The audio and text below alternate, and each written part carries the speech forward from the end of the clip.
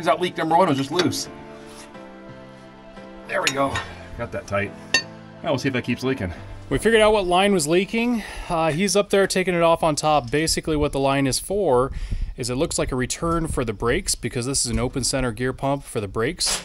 And I got a little valve body that's on the side of the frame over here and that basically when you push the brakes it's got to put the fluid somewhere when you max the brakes out shoves it back up in the tank at least that's what it looks like so anyways I took that off down below Nick's taking it off up here and then we'll get some fittings and uh, make a new hose for it and then after we get that done we'll grease the inside a couple of things and then we're gonna wash the wash it really good but we'll look around and see if we have any other issues that need to be done You all unhooked down there? yep you should be able to pull it out Let's call on something. Let's here.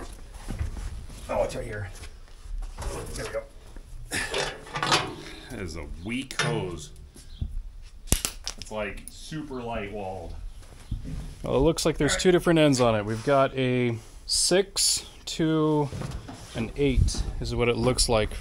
So on hydraulic fittings, they don't go by like half inch, three quarter, 10 millimeter, well, some some metric, but for the most part, what they do is for the sizes, they call them like an eight and six. And so, for example, eight is actually a fi- uh, half inch. A six would be like a three eighths. Um, a 16 would be one inch. So if you can remember those, it helps. But what the fittings are on that is those are actually a JIC fitting. And uh, I try to keep assortment of random stuff here. Here we go. This might be the one. So that's a six to six. So if we had a 3 8 hose, that and we don't need a half inch, honestly. Oh wait, what do we got here? But that's a straight. Nope, that's not right. We don't have one. Let's go out and confirm. Make sure at this. We need a 90, just the way that they're set up in there. You need to. You can't do a straight. That's perfect. Okay. Well, I gotta go in town and uh, see if I can get a a line, what I, well not a line, but a fitting, should check to see if we have any 3 8 hose. There we go, 3 8 Yep, so we, we have some 3 8 hose. Alright, well that's all I need to do. Go in town and get a fitting. Fun.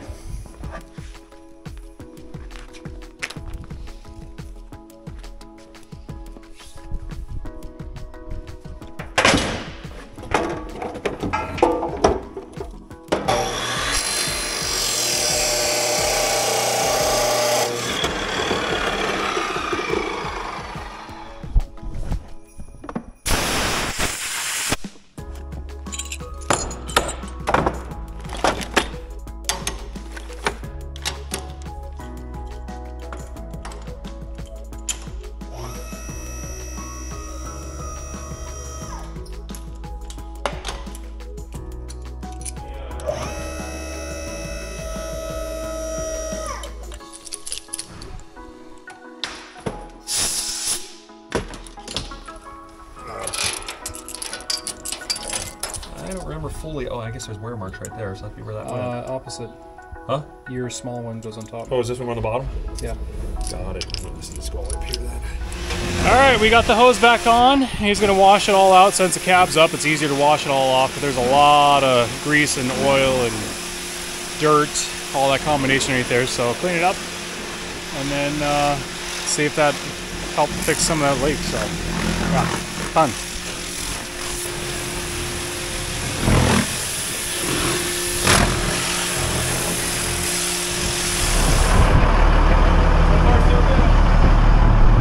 See any oil so far. Keyword yet. It's old, it'll leak oil eventually. Yeah, I shut it.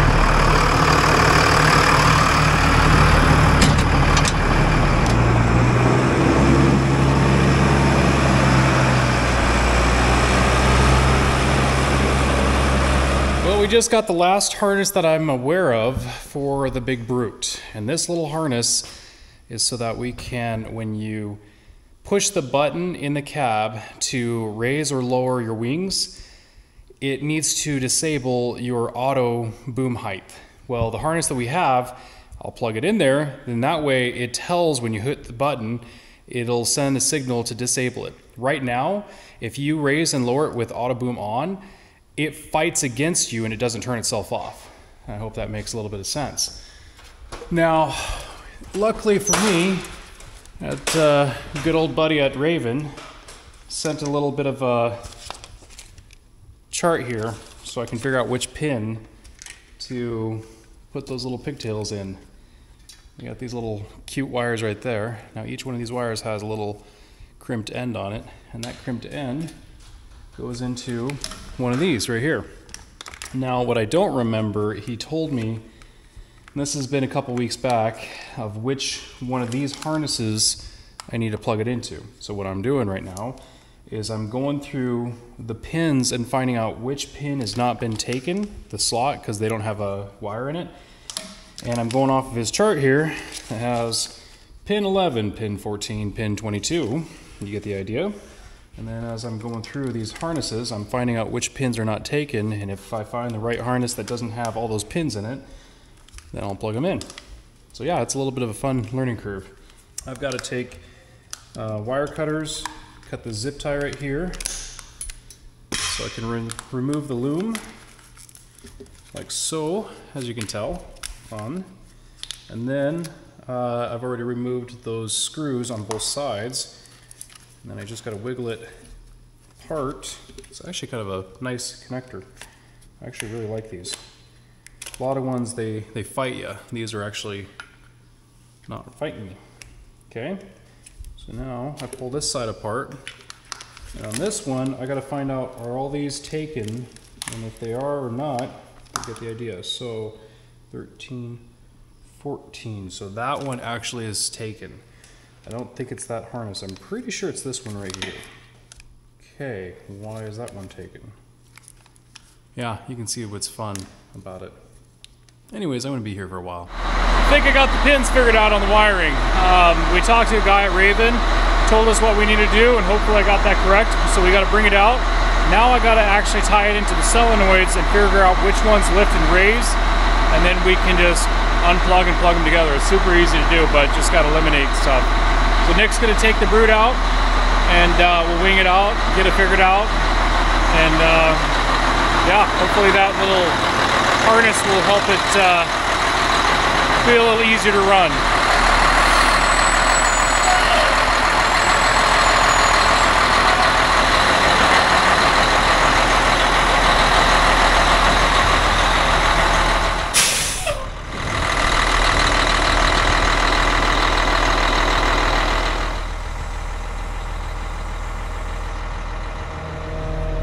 Ahead and try it. See if that which boom works. Okay, it's a little easier to talk to him on the cab when I got this thing. So, anyways, uh, looks like looks like the wires are hooked up correctly to the solenoids, and he's now he actually might be going through the the uh, buttons to see if it actually turns them off when he's doing the auto boom height. That's probably what he's messing with right now. But anyways, they work. Good. We're in the side-by-sides. Dad, uh, he's taking one. I've got the other one. Nick's in his pickup. And we're heading down to the building to grab the headers because, uh, well, we need to get them out. Now, the reason why we got three vehicles, you know that pea cleaner that we built? Well, we got to get that thing out of the way to get the headers out. And so once we get that out of the way with Nick's pickup, we'll use the side-by-sides, hook on the headers, and uh, pull those things home. And then Nick can get back to his house and start building on his house because they're working on his foundation. So yeah, pretty cool.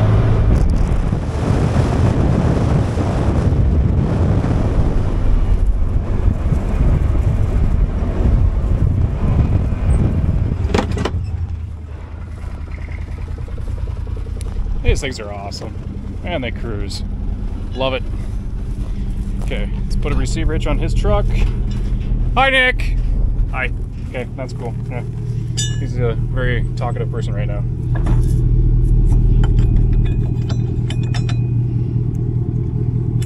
So we really need to get this out of here because I think we're going to be hitting it with the headers. Maybe not.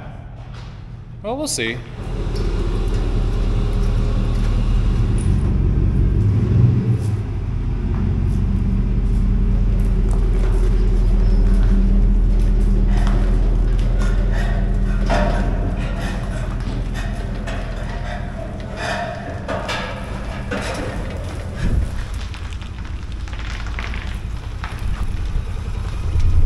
You ready?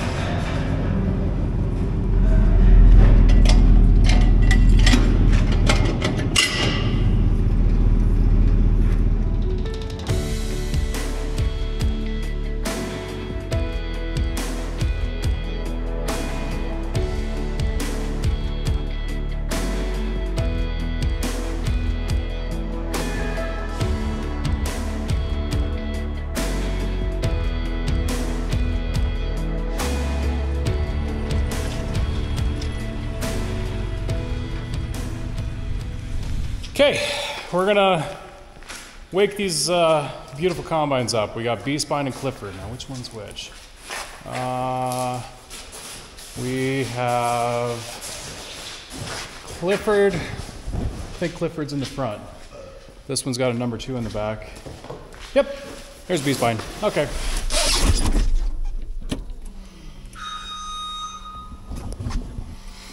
I smell mice. Things are nasty. Yep, there's a mouse turd right here.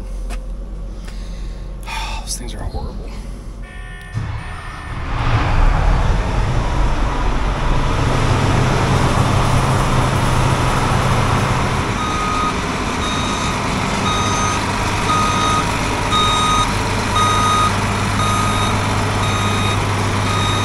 Clifford's turn. All right, hopefully these batteries are good.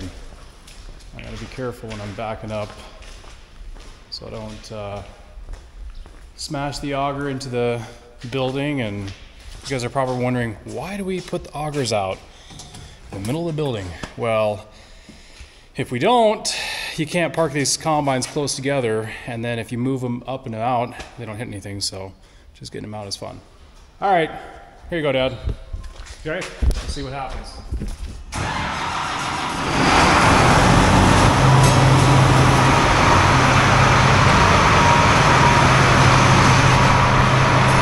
close.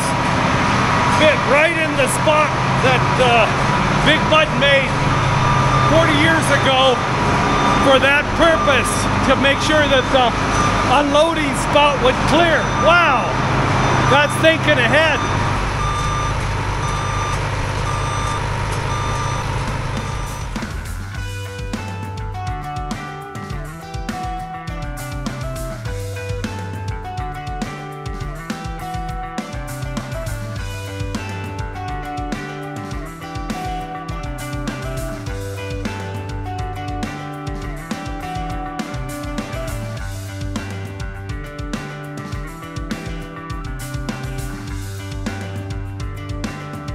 What we got to do with these combines is, of course, grease, make sure there's fuel, check the oil and everything in it, um, you know, those simple things like that, and just kind of go over and just check belts. But the main thing that we got to do before we can start cutting the pea crop is we got to change the modules.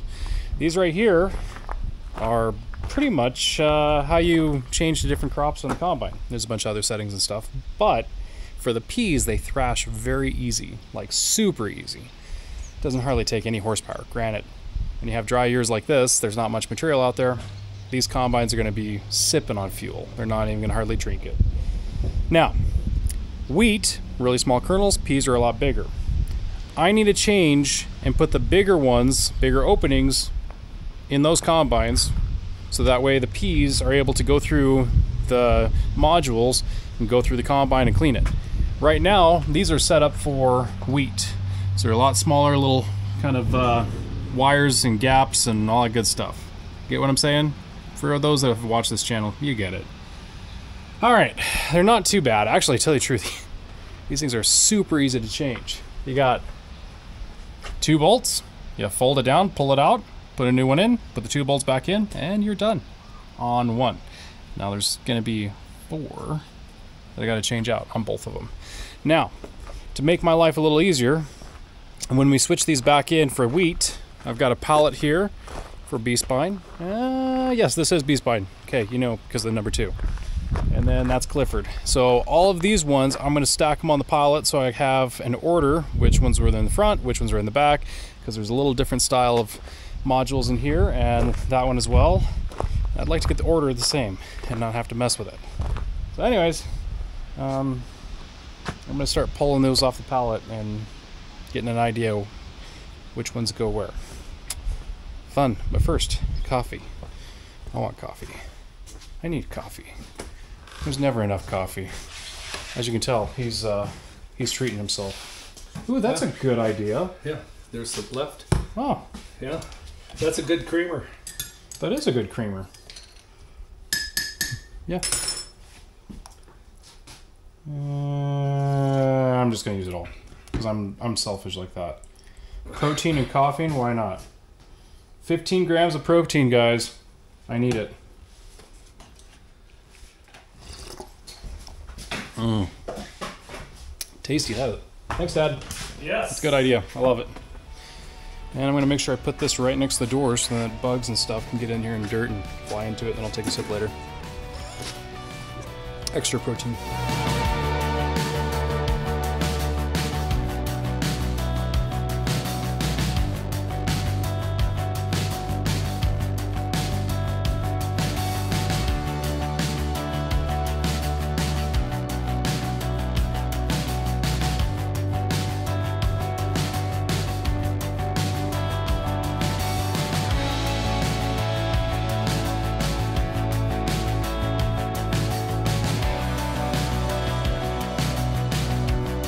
B-spine pretty much is ready to go to put the header on. We went through and looked at uh, the feeder house bars. There was one bent bar.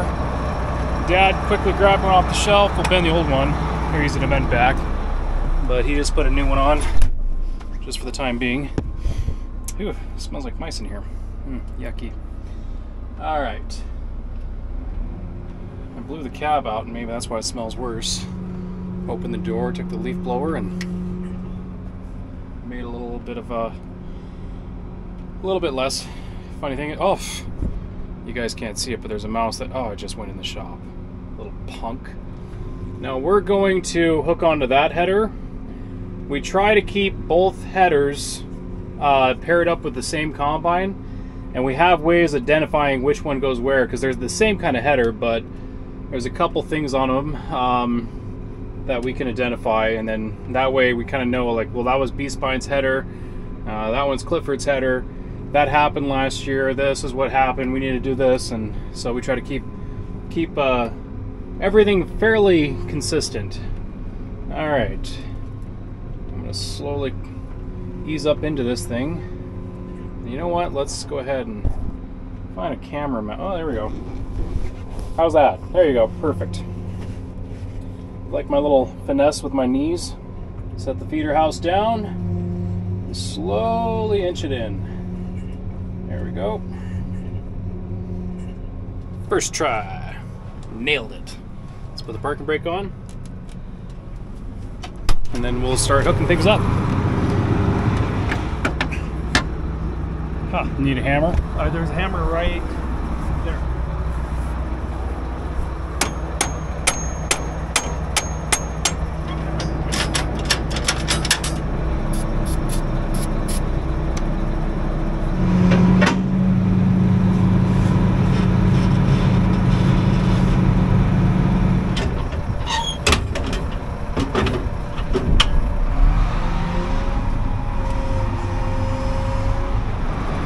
going to move that one out of the way a little bit to make some room for this one. We're going to prioritize, our priority, I should say, is Beast Spine right now. I'm going to make sure that this one's good to go.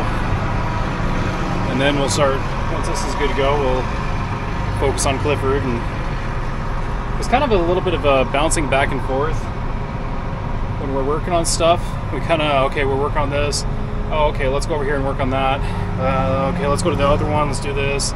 It's kind of a crazy little mess, but things do get accomplished and done, and that's the key.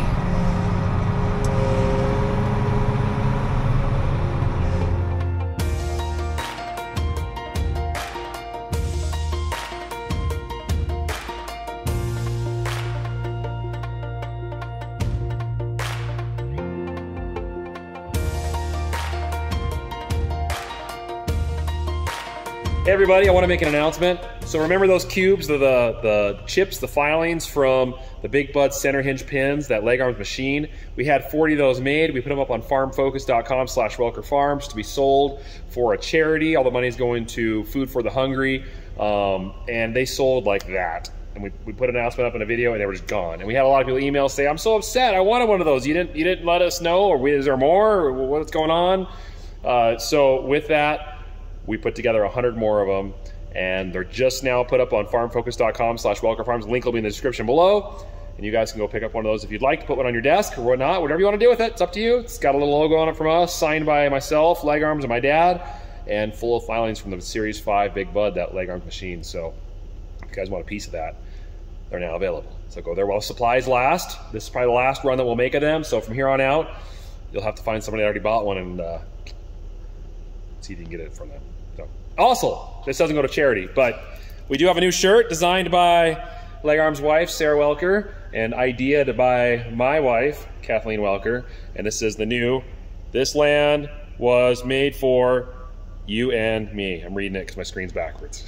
so anyways, really nice shirt. I really like the design, the color, and everything. So that's available too on Welker Farms at Farm Focus, so farmfocus.com slash Welker Farms. So anyways, thanks guys for watching. Appreciate everything you've done for helping us get this platform, this channel to where it's at, all the fun that we get to do with it.